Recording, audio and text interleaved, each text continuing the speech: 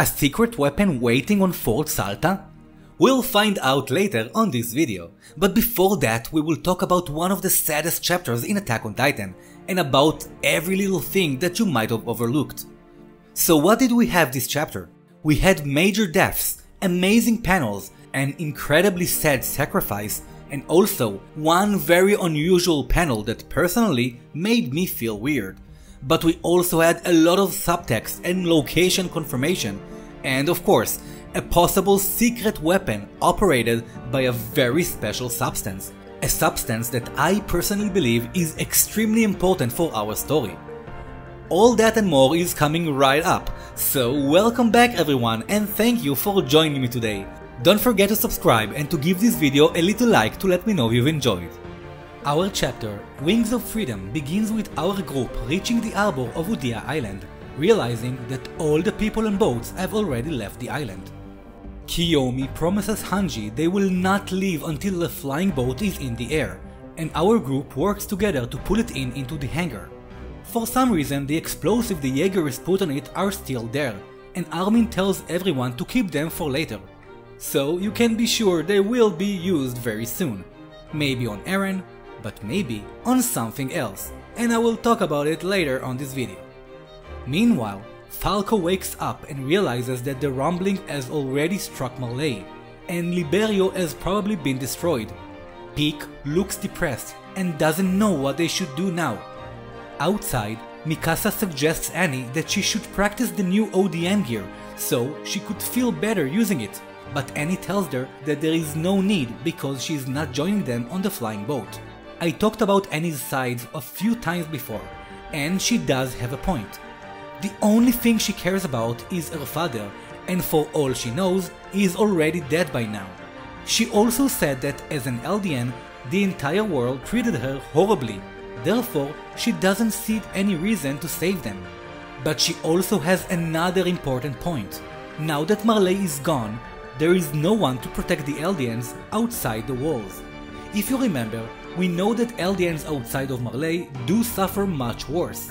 In fact, Marley being so strong and dominant was the only reason why the rest of the world didn't try to destroy them before, and also why Eldians in Marley were treated relatively better.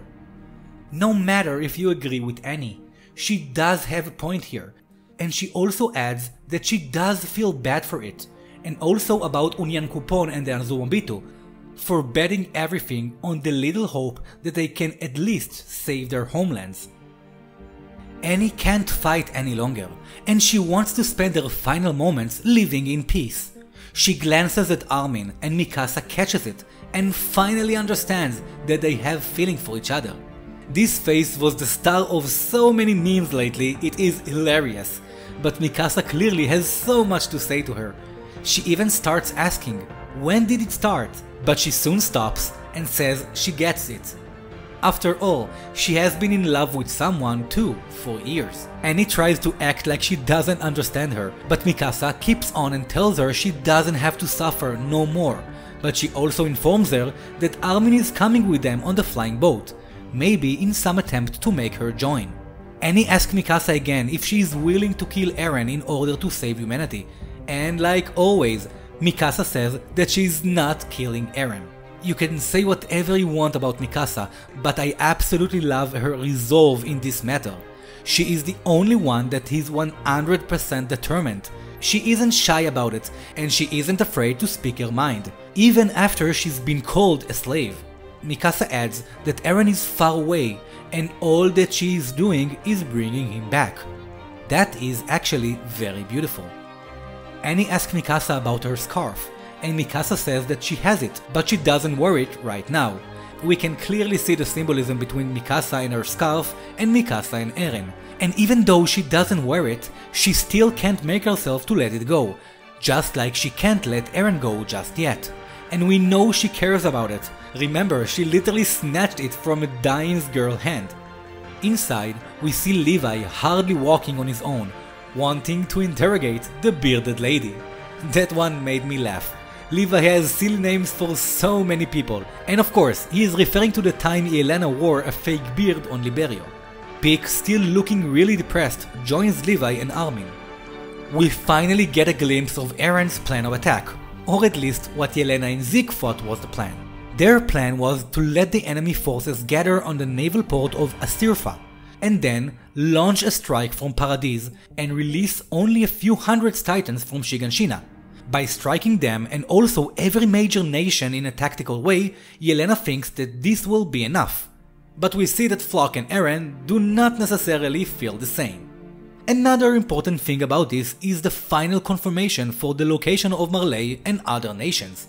As you may know by now, the world of Attack on Titan is upside down. Just like the name of the place Asirfa is simply the name Africa, spelled backwards. The place Yelena talked about is probably around Cape Town in South Africa in our world. Next, she reveals another disturbing location, a fortress in the mountains of southern Marley. This is the location of the flying boat research base. We can imagine Eren is concerned that a large fleet of flying boats will be a threat for his Titan. But is it the only thing waiting there? Have I mentioned the secret weapon? More on that soon. Yelena tells the group that this will probably be Eren's next target of attack. This fortress is called Fort Salta, which is of course also Atlas, spelled backwards, just like the Atlas Mountains in the exact same place on our world map, like Southern Marley, I will even turn the map upside down so you can see the resemblance to our world. Another fun fact, who was Atlas? In Greek mythology, Atlas was an incredibly strong titan that led a fight against the god of Olympus and against the king of gods, Zeus. As a result, and as punishment, Zeus sentenced him to carry the horizon on his shoulders for all eternity. Attack on Titan deals a lot with symbolism to ancient gods, so it made me think about that as well. I really don't know if any of that comes into play later on the story, but I thought this is something you might find interesting. Moving on, Pieck agrees that if there is even a chance that there is a special weapon waiting there, then it is a good enough reason for Eren to strike it. And Yelena says that he will go there definitely to destroy all the flying boats. It seems that even now Yelena is extremely devoted to Zeke. She still thinks his plan was the most painless solution to the Eldian problem. The Eldians will die naturally, and when they cannot have kids, this will simply end the Eldian race naturally. And yes, on some level, she and Zeke also have a point. With Zeke's plan, that would take time for the world to recover and attack Paradis. In the meanwhile, the Eldians of Paradis will be able to live and die in peace. But of course, there are so many downsides for this as well, like freedom and right to choose, and of course, the Eldians that live outside of Paradis. Hanji agrees that Eren has no solutions, fate or hope for them as well. The preparation of the flying boat are almost done and Pieck asks Kiyomi to let Gabi and Falco to stay on the boat. She doesn't want them to come with them she locks them in their room and says she needs to pay back her fallen comrades and she will do her duty as a warrior. Something about the way Pieck said that makes me believe she takes it very personally. While the scouts try to bring Eren home, Pieck wants to avenge her comrades and do her duty as a warrior, which was originally to bring back the Founding Titan, and with that, avenge all her friends killed mainly by Eren and the scouts. Don't forget she didn't spend time with the scouts like Reiner or even Annie, so we don't know exactly how she will react. I can definitely see Pieck facing against Mikasa very soon. Two best girls facing each other, so let me know if you would like to see that, because I personally would really like to. Outside of the hangar, the group gathers to test their weapons and do final preparations before flying in one hour. We see Levi a bit shaky with his missing fingers, but he ensures everyone that all he needs are two fingers. Just Levi being Levi. Next, we have Annie saying goodbye to Reiner and Pieck. It's nice to see there isn't any bad blood between Annie and the other warriors. Reiner apologizes for the time he made them continue the mission even after Marcel got eaten. Back then, Reiner was so afraid from failure that he couldn't consider turning back, so they had to rush their attack. And now, for the first time, he asked forgiveness for starting the operation rashly. And without him, she and Bertholdt would have gotten to see their families once more. And then we see Annie and Reiner hug for the first time. Well, not a full hug, but that is enough for me. Those two had tension between them all their lives, and I'm glad they left all that behind. He asks her to take care of Gabi and Falco, and then we get a picture of the group saying goodbye. I call this the death picture. Notice that only three are raising their hands, and knowing Isayama loves playing with our minds, we can guess that the ones holding their hands up might be the next on the list of dead characters. My bets are on Connie. Annie and Armin looks at each other from afar and Mikasa asks him if he is okay with that. He acts surprised, but soon answers that he is glad that Annie should just keep being herself. Something about that goodbye. I personally can't imagine we won't see Annie again. After being in Crystal for so many years and also a Titan shifter, I really don't see Isayama letting her go so easily. I would say I'm still waiting for the Annie twist I've been talking about for years. Hanji reminds everyone that now after all that happens, the entire world will treat Eldians even worse, and Pieck agrees, but she also says that General Magath instructed them to work together in order to do whatever needs to be done. And here we get our old Hanji for a second, when she gets all excited and asks Pieck if she could ride her Titan, so she could feel the heat hmm, of her body. Hmm. Pieck thinks she's crazy, but we know this is just Hanji being Hanji. Levi teases her about that, and Hanji asks him if he thinks they are looking at them and will they be able to stand proudly next to their dead friends. Levi just tells her to not talk like him, referring of course to Captain Erwin. And just when everything looks ready to start fueling the plane, Floch sneaks into the hangar and starts shooting the plane. Notice that he didn't try to hurt his friends, he simply tries to damage the flying boat. Apparently, Floch clung to the boat and waited for the right moment. What makes you think, why didn't he just set off the explosives on the way? But regardless, Floch did the only thing he could do to help Eren. But while he was shooting, Mikasa took him down. Floch dies while saying, everyone on the island will be killed. Our devil is our only hope. Floch actually said the same thing about Erwin when they all were on the roof. And like I mentioned in my video about him, Floch just wanted to follow someone he believed in, someone who will do anything it takes to get the job done. Therefore, Floch also died an honorable death. Unfortunately, the plane is now damaged and it will take an hour to fix it. But at the exact moment, the ground starts shaking and they see the rumbling coming their way. Jean and Hanji try to help Floch, but he dies in the hangar while the engineers are trying to fix the plane. On the boat, we see Kiyomi shoveling coal while Annie guards the door to Falco and Gabi's room. Armin suggests that he will stay and hold them back, which doesn't surprise me because lately it seems Armin's favorite thing is to sacrifice himself. And Reiner, of course, tells him that it should be him, because, well, it is Reiner and he always wants to die. But out of the blue, Hanji tells them both that this is her job, and right there, she appoints Armin as the 15th commander. Which is complete nonsense, because he is not in the right state of mind to lead, and honestly, that title should have gone to Jean. Hanji tells him that he is suited for the job, and then just goes back to being Hanji and tells everyone, see you later, very casually. She walks by Levi and tells him that this is her moment, a really cool way to die, so he should just let her go. Levi, looking really sad, then answers, Devote your heart, which was such a beautiful moment in my opinion. And just like that, Hanji launches herself into the air for a beautiful panel, looking at the thing that she loved the most in this world. Titans are really incredible, she says as she starts launching thunder spears at the colossal titans approaching. As her friends watch her take one titan after the other, the engineers work fast on fixing and fueling the flying boat. Hanji sees that they haven't left yet and she keeps on attacking, surrounded by hot steams from the titans while starting to burn down herself. Hanji switches to the snap blades and cuts a titan's nape just a few meters from the hangar.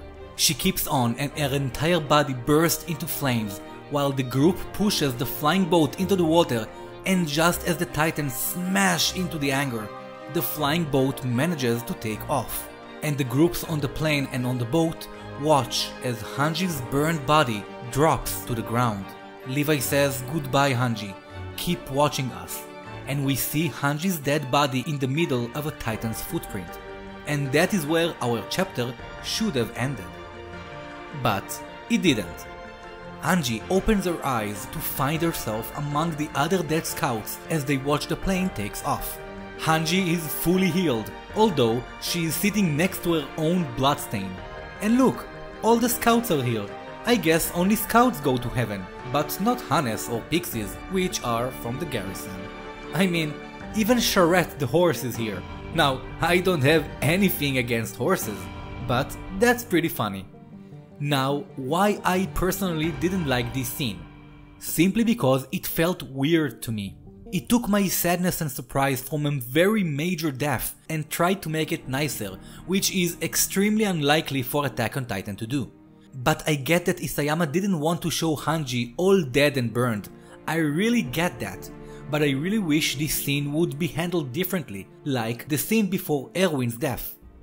This scene might be symbolic and extremely nice, especially when seeing all of our dead friends, but it still feels out of context. And I sincerely think this panel should have been some extra or special panel separated from the actual chapter. That would have made it feel special and less weird, at least for me. But that's just my personal opinion, so let me know what you think about it in the comments. Is it just me, or did you also feel this scene was a bit weird? And that is where our amazing chapter ends. So, did I mention a secret weapon? What really awaits our group in Fort Salta? I will take you back to season 2, when the Beast Titan first encountered the ODM gear. He then discovered that this device works using a special gas that can only be found on Paradise. Zeke took it with him to study and even made one that he later gave to Kiyomi. Now, I don't know if you remember Kiyomi, but her main reason back then to help was for money and resources. When Zeke mentioned it, she had that look on her face, so I believe she heard about it. And that substance was actually one of the major reasons why the Azumabito wanted to be on Paradise's side. And to prove it, let me remind you of her panel drooling while talking about it to the scouts. She literally said that this can change the world, and from that point, we stopped hearing about it. So what is this substance? You might remember it by now. It is called the Iceburst Stone. I won't explain everything about it now, but if you do want to know more about it, go check out this video about the entire history and secret of the ODM gear. The Iceburst Stone is what makes the ODM work. It comes in a solid form that looks like ice, but when exposed to slightly higher temperatures, it creates a small burst and releases a special gas. When handled poorly, it can cause fatal explosions in small amounts. So think what it can do in larger amounts. How much damage the explosives from the flying boat can do combined with that. Also, it could be used simply as a bomb. It can be used to operate some advanced flying machine. It can be utilized into some sort of toxin, or maybe some extremely powerful firearm. But the main thing here is that I am positive that this will come into effect, especially when it was not mentioned in the story for so long. The Iceburst Stone is one of the most important and mysterious things in our story. It was the claimed reason for Marley to attack Paradise for the resources. And it is probably why the Azumabito clan is so interested in Paradise Island as well. It is better explained in Attack on Titan before the fall, or simply by watching my video. But who knows, maybe Sayama will think about something real crazy to utilize this gas. What do you think? Can you imagine a crazy weapon that works with this gas? Tell me in the comments. Also, before we go, I will place a bet. Among the people that are going to die, I believe Connie is the next, maybe even in the next chapter. That is also where I believe we will get to see Zeke again, and maybe we will hear more about Connie's mom. I think we covered a lot of things that I haven't heard people talk about, so I really hope you enjoyed it. And that is all for today my Titan loving friends, and don't forget to subscribe and to visit me on Facebook and on my other social medias. I will see you all real soon, and until then, don't forget to dedicate your hearts for humanity, inside and outside the walls.